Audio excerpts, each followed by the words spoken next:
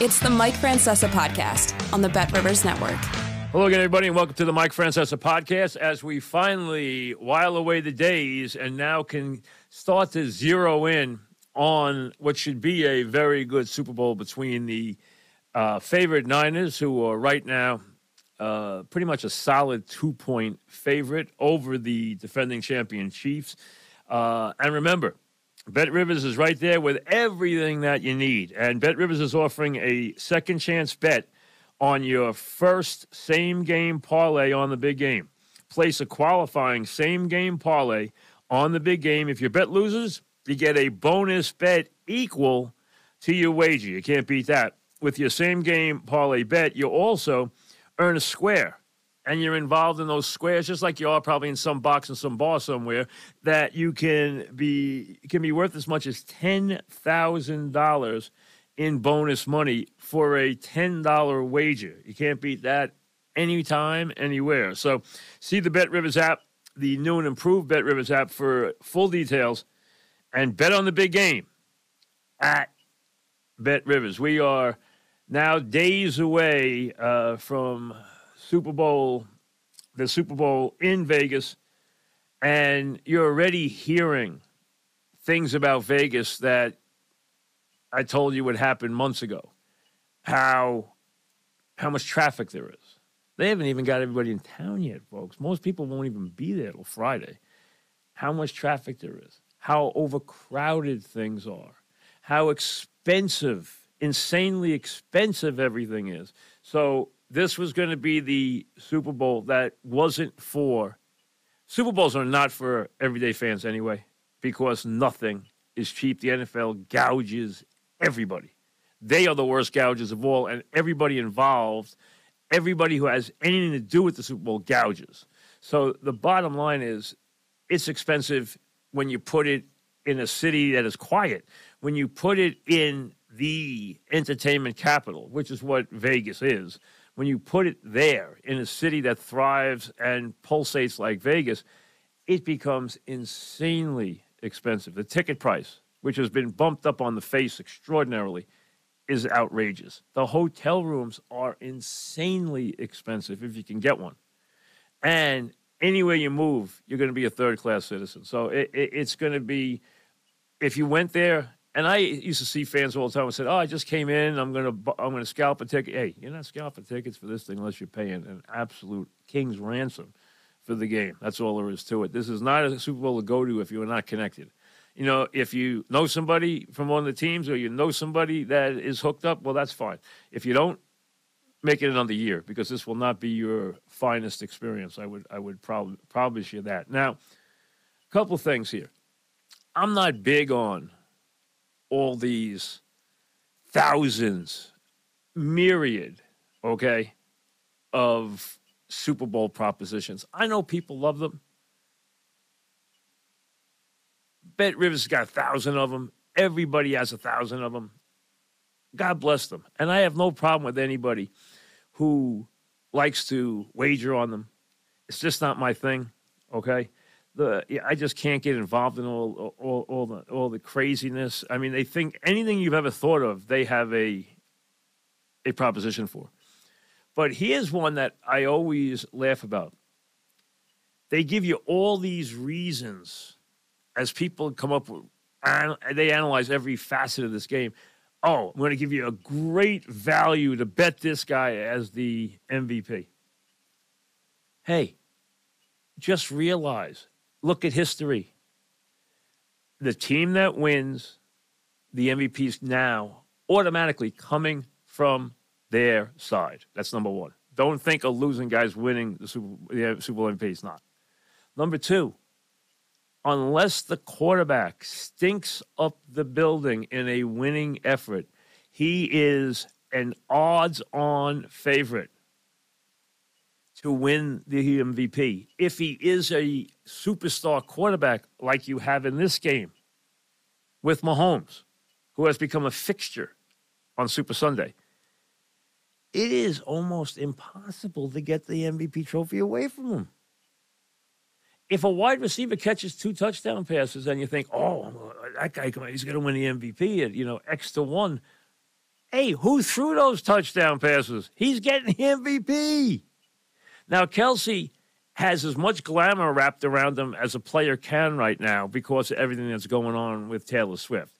And also the fact that you have two stars at tight end who have been talked about and measured and everything else. Because let's be honest, Kittle brings a lot to the table as a as a tight end.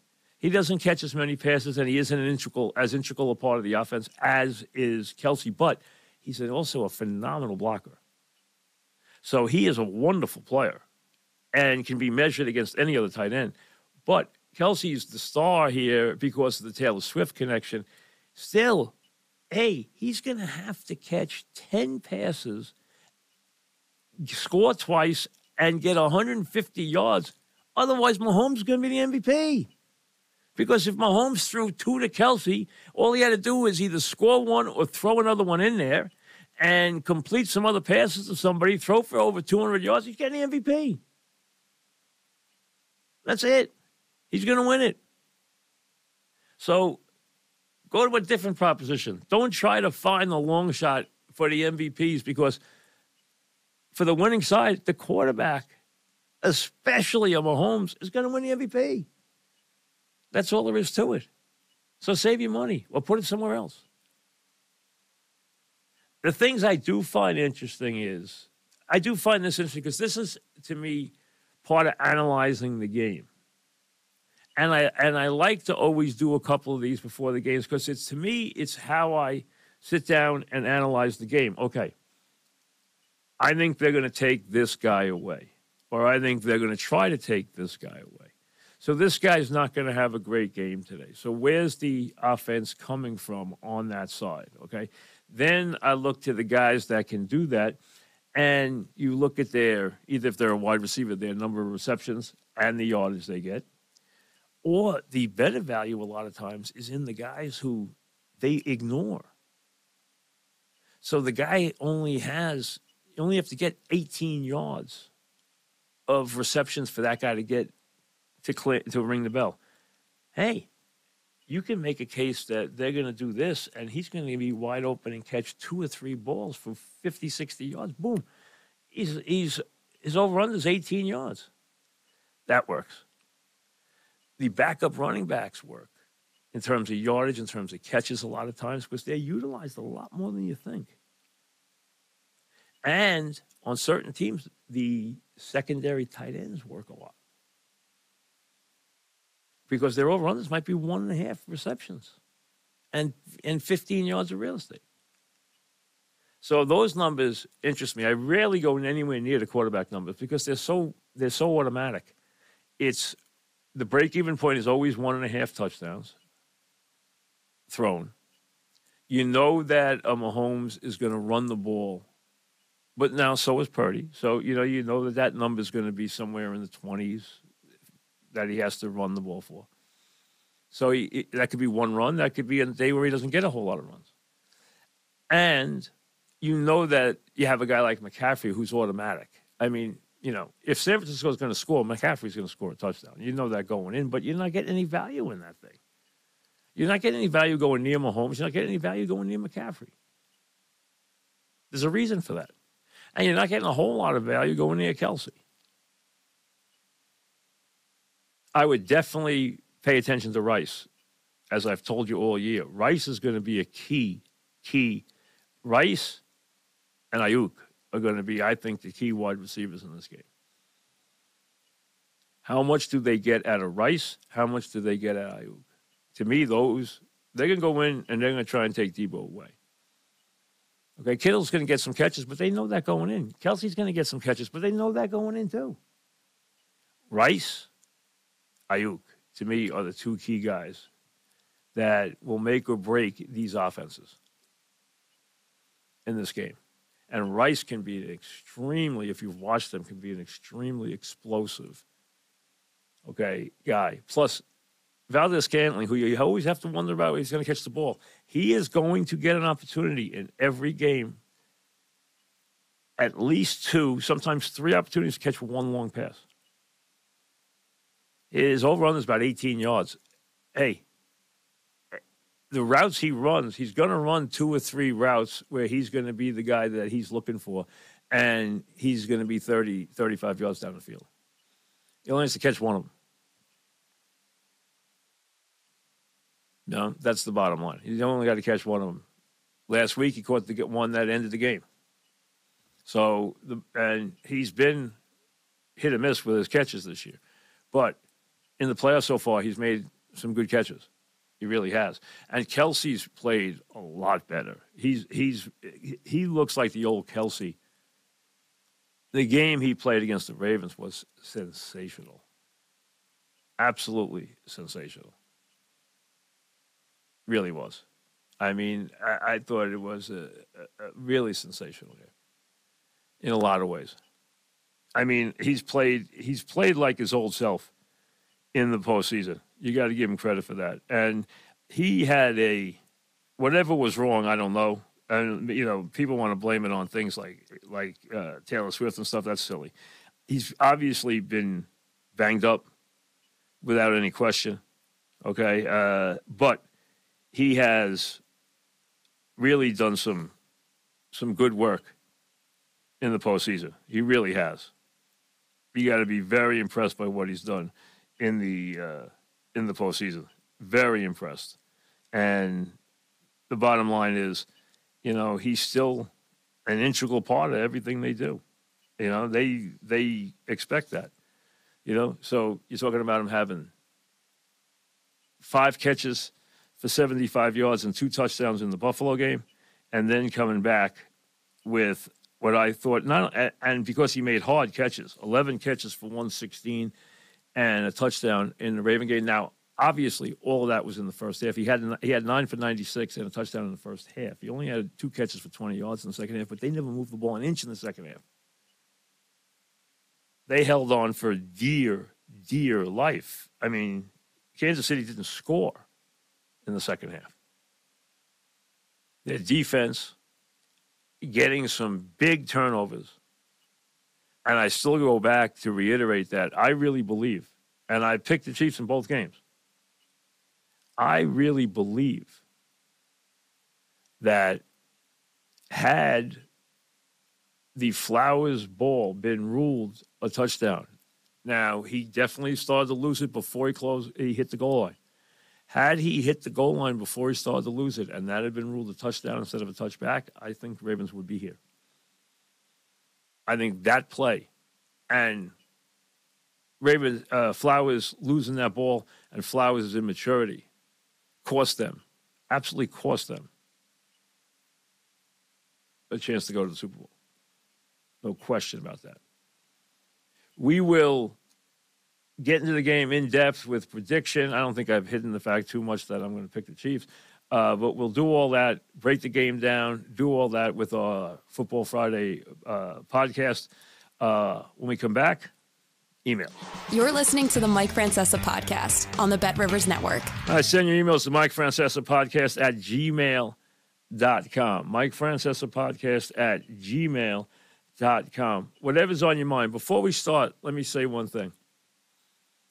I tweeted something the other day. I went to the, uh, I took Harrison to the uh, St. John's UConn game, which was, you know, had a real old time feel to it. Sell out, great anticipation before the game, great energy in the building, the whole deal. Okay? St. John's had a lead at half, and then UConn just buried them in the second half. And they didn't even have the, uh, you know their third best player. Karaban didn't play. Um, UConn's a legitimately Final Four team and, and probably the best team in the country. I think they're better than Purdue. Um, and I think right now UConn and Purdue are right at this point. As we hit the second week of February and we're a month away from the conference tournaments, uh, UConn and, and, and Purdue are. I put Houston third. I worry a little bit about their offense and their foul shooting. Um, I think those two teams are clearly ahead above everybody else. And UConn has a very good chance to win another championship. Um, I, I said something after the game. I tweeted something. I said, you know, great scene. UConn was terrific. But I sit here and talking to some coaches before the game and talking to some people. I feel like we are on the eve of destruction when it comes to college athletics. And I really believe that. It's over. It, as we know it, it's over. And then you may have saw that yesterday, may have seen that yesterday. The NLRB ruled, and I'm sure this ruling will be appealed, but there's also three or four other states where the schools are getting ready to do the same thing. The NLRB ruled that Dartmouth players were within their rights to unionize, that they were deemed school employees. If you listen to me years ago, I told you this was going to be the thing that ended everything. When the players, if this was going to happen, if they were going to start to pay the players, after the Ed O'Bannon case and the whole thing, it was going to lead to unionization. Once it led to unionization, it's over. They're not student athletes anymore. They're employees. They don't have to go to class. They can be paid any amount of money. They're going to have freedom of movement. They're going to also have all kinds of things like work conditions. They're going to have a union rep. What, what happens? You want to chastise a player? He tells you, call my union rep. This is over. That's why coaches are getting out by the droves. As one coach at a mid major said to me, I'm like a minor league manager. If I develop a player, he's gone. If I have a freshman, I develop into a good player, he's gone. He's getting bought to a new team next year. He's gone. I can't keep him for three more years and develop him. I can't have a run with a with a nucleus. Any player from a secondary league who makes all league and returns is bought by a major team. This is over as we know it, and now we're staring at unionization of the players. What does student athlete mean? There's no student athlete. They're pros. They're employees and they can unionize. That means OSHA. That means pensions. That means union reps. It's all over, folks. It's all over. And with it goes the appeal. And you want to call it a sham? Okay. Did they try to sell you that they were Harvard Monday to Friday and Alabama on Saturday? Yes. Did they do things under the table, a lot of the schools? Yes. Has the system had a corrupt feel to it at times over the years? Yes, but it wasn't chaotic and it wasn't pervasive. Now it is over. How can you coach if you get a freshman, develop him, and the next year he goes somewhere else for $5 million? He's gone. He has freedom of movement. Every single player can move. How can you build a program if every player can leave you after one year? How would you think major leagues would work? How do you think baseball would work or the NBA would work if every player was free to leave every season? Chaos.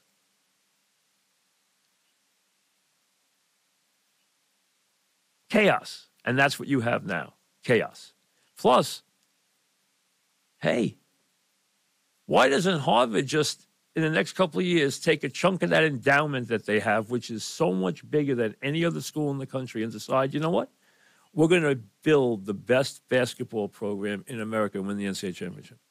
Could they do it? Absolutely. They start paying at five million a year, you know, for a starter, you know, and on down. Plus, you get to say you went to Harvard. You don't have to go to class. You just say you went to Harvard. To go to class anymore. Why would you have to go to class? You're an employee. You're not a student. You just wear a Harvard uniform and say you went to Harvard. This is over, folks. It's over. As we know it, it is over. And with it, what's over is this playoff they just put together in college football. It's not going to exist. And the NCAA tournament is not going to exist because there's not going to be college athletics because it's over. It's now minor leagues. And the minor leagues Tell me this where is the minor leagues big deal? Where is it ha- where does it have appeal? Where does it have charm? Who cares about the minor leagues? Nobody.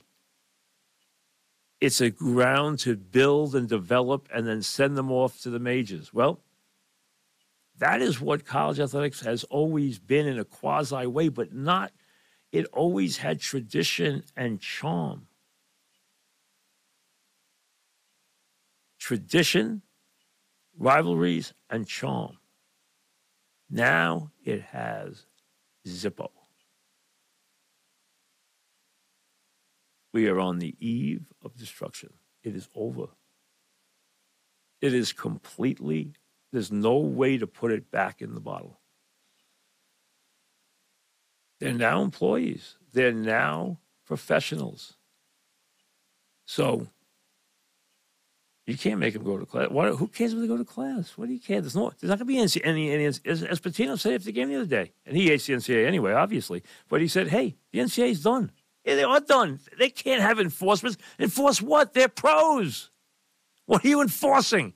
You're going to tell them now they're not going to class? You're going to tell them now that they gave them a T-shirt or they paid for a kid to go home? The kid can now make five million dollars and go there. He can have his own NetJet deal." It's over. There's no more amateurism. There's no more student athlete. That stuff is nonsense. Take the commercials and throw them away. There's no student athlete anymore. They're professionals. And it's complete chaos. They don't even know what to do now. No one even knows what the rules are. You try like hell to protect every player. You know, the new the Washington coach just went to Alabama. Do you know how many players he lost? He got raided before he even got there.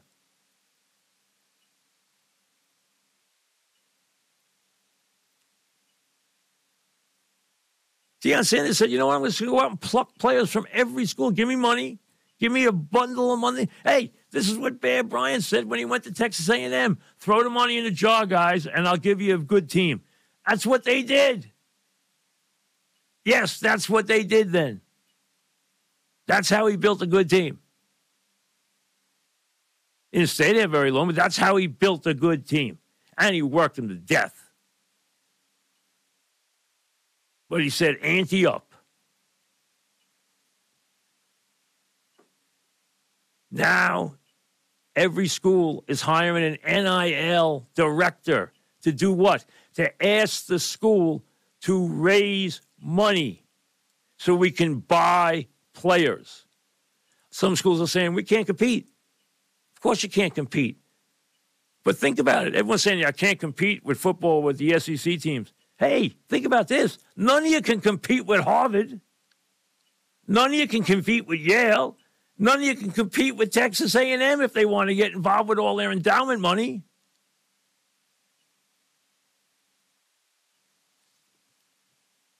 Enjoy the tournament this year. The eve of destruction is upon us.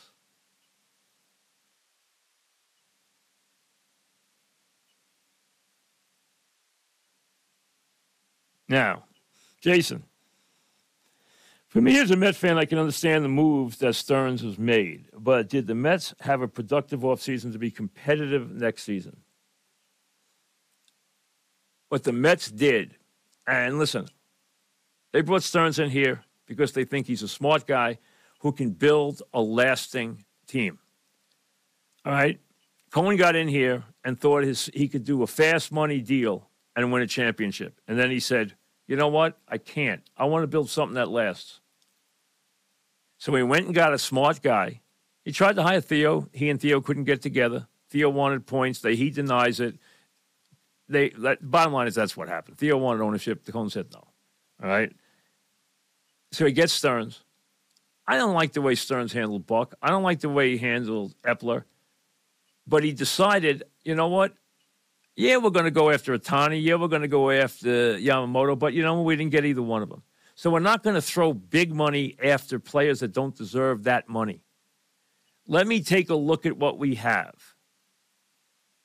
for a year. Let me see what I need, where I need to throw the money, and then we'll start to throw the money at it. And that's what he sold the owner on. So this is a year where he will, you know, they have the pitching lab. They brought in a lot of arms. They hope they can reclimate in the bullpen. He's a bullpen guy. And you go into a season, folks, And here's the thing you think about. I got 1,458 innings, nine times 162. I got to have somebody pitch those innings, and I hope that a lot of them are quality. The Mets are saying, we're going to complete most of those out of the bullpen. We got Senga, but Senga threw 166 innings last year. He's not durable. He's really good, but he's not durable. Only threw 166 innings. Not enough. And the guys they have now are five inning starters, if you're lucky. You'll hope to get five quality out of them. They still need starting pitching. And there's still starting pitchers out there. Bottom line is Mets do not have a the Mets have a team that if they if if, if everything fell into place, they could win 87 games. If they don't, they'll probably win somewhere around 77 and 80 games. The lineup's not terrible. Their pitching's awful. The starting pitching is dreadful. Do they have a team that's competitive? If you're talking about for the playoffs, no. For 500? Yeah. Austin, do you think the NFL will ever get its wish of playing the Super Bowl on Sunday before President's Day? Austin, if you listen to my show, I talked about this 10 to 15 years ago. That the dream the NFL had was to play an 18 game schedule, they've got it to 17, and to play the Super Bowl over President's weekend. The Monday after the Super Bowl is the most absenteeism of any day of the year in America.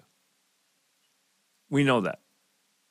They want to control that weekend. They wanted to move deeper into February. I've talked about this 10 years ago, maybe 15 years ago now.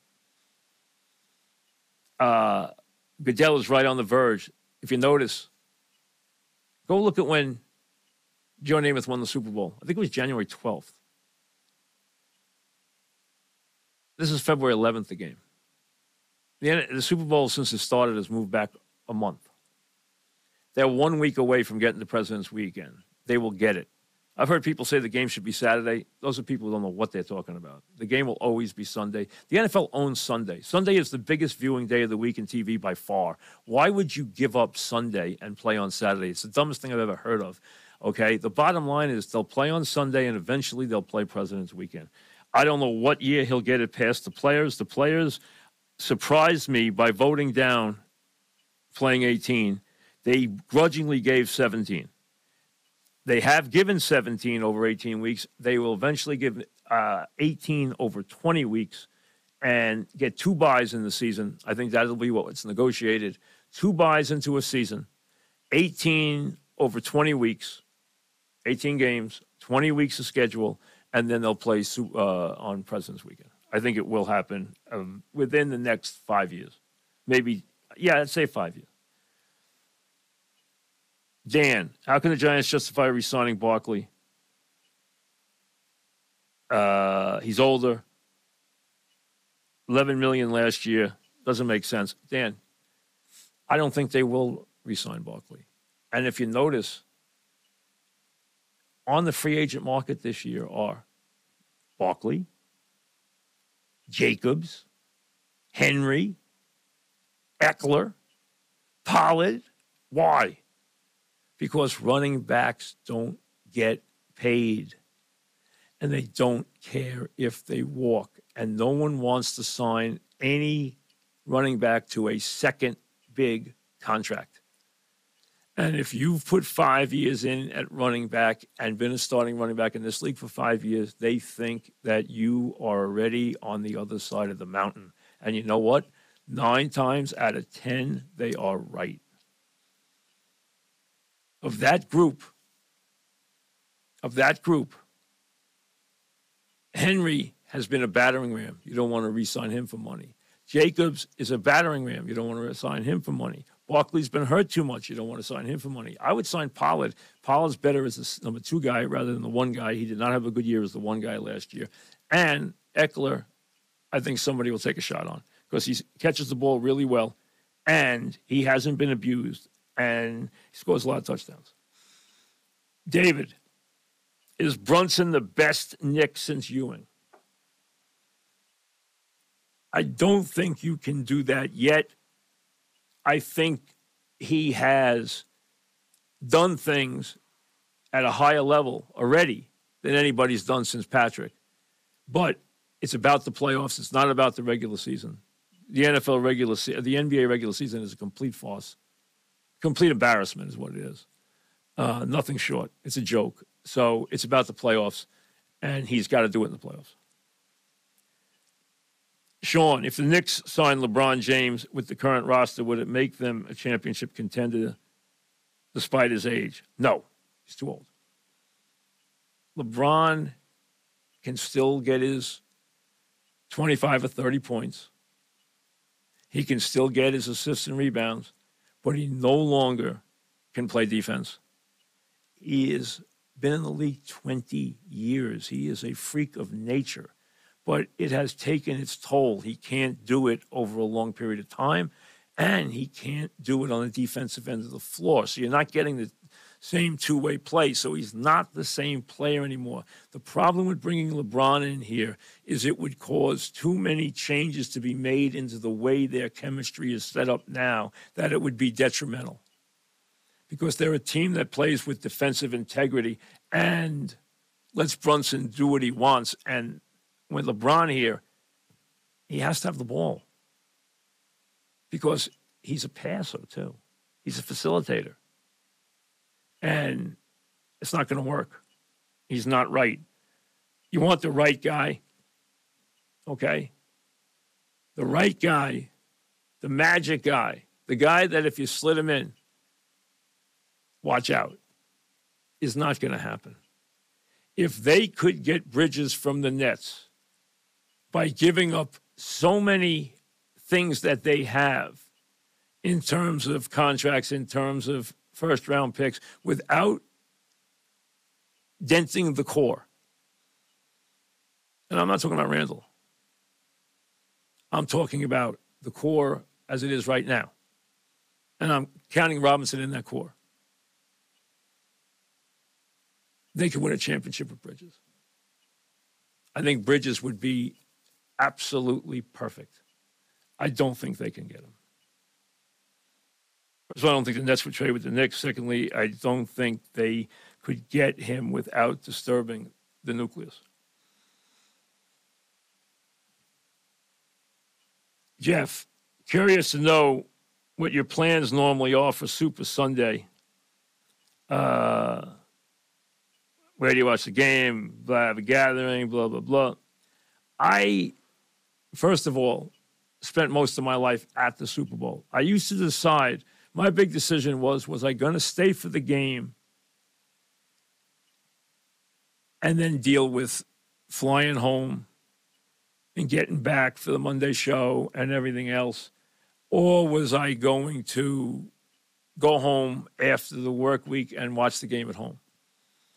In later years, I was 50 50. If I loved the game or I had some reason that I really was, the game appealed to me, I went to the game. Plus, I have to admit, as my boys got older, they wanted to go to the games, and I took them to the two or three games. I think I took them to three. It might have been four. It was either three or four. Um,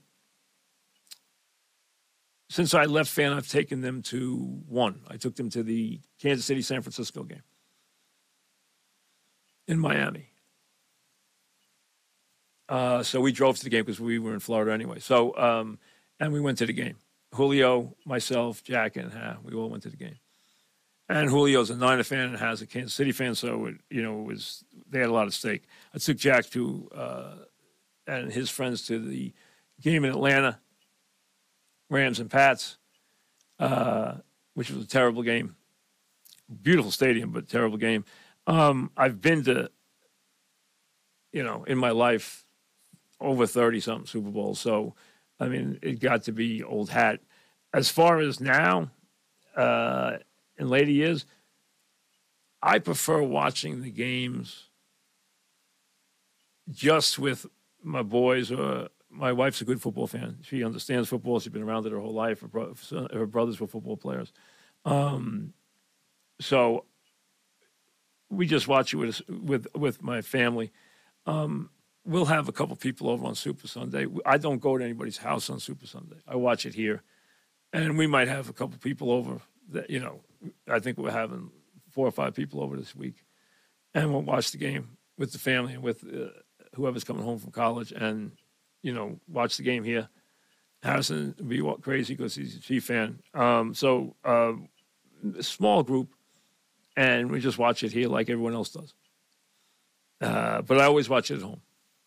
Yeah, I mean, because I go down and do a podcast afterwards, so I would do that anyway. So I like watching the games with a small group or just me. I don't like watching the games in a large group, and I don't like not being home when I watch the games. I prefer to be home. Um, how come no one mentioned Steve Spagnuolo as a head coach? Good question. A lot of success.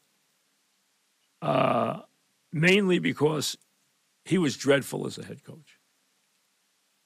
Now, he didn't have two full bites at the apple.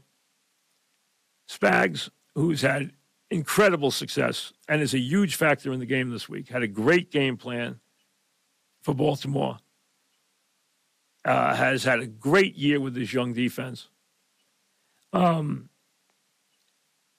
the bottom line is uh, he had three years in St. Louis, and his third year was his first year was dreadful. Second year was bad. His third year was dreadful. He got fired.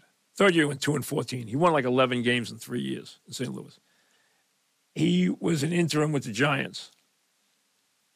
I think he went one and three in the four games he was the interim. He's now 64 years old, and he has resigned himself to the fact that he is a elite coordinator. He gets treated with great respect. He impacts the game and the team dramatically. He gets paid very well. His base pay is, I think, somewhere between two and three million dollars, and I'm sure he has bonuses based on Super Bowls and everything else. Um, so he gets paid very handsomely. He's making a lot of money. Andy gives him free reign of the defense and great respect. Always acknowledges him. So he's in a perfect spot. And he understands that his job is to be a dominant coordinator. There's nothing wrong with that. He has a pivotal job in this league. And why not be that? Why not be a great dominant defensive coach rather than a mediocre head coach of a franchise that, if you're lucky, might get to the playoffs a couple times. Hey, he found his place. He took his swing. It didn't work.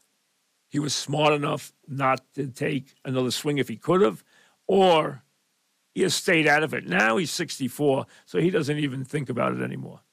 He now just does his job. He's found his home. And you know what? I'd rather be that. I'd rather be the number two man on a Chiefs dynasty than be a mediocre head coach somewhere. Because he impacts players, he impacts the league. Everybody knows who he is. Everyone respects him. And that's a lot. That's plenty. So remember, we will do a Football Friday cast for you. We will break down the game. I'll, I'll give you what I expect, how I think the game will be played. I think it's going to be a very good game. I think that San Francisco is worthy of respect, and I think you're looking at not a good offense, but a great offense. One of the best offenses to hit the league in a long time. I mean, they have great players on offense. Purdy's not one of them, but they have great players. Wonderful talents. I mean, Trent Williams is a great player. He's a Hall of Famer. McCaffrey's a tremendous player. He's a future Hall of Famer. Kittle is a tremendous talent. Deebo, Aiyuk. That's a lot of guys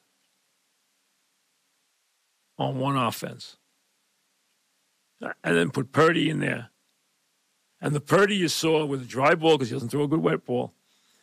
And opening up as he did last week in the second half you saw an offense that, you know, just took off in the second half.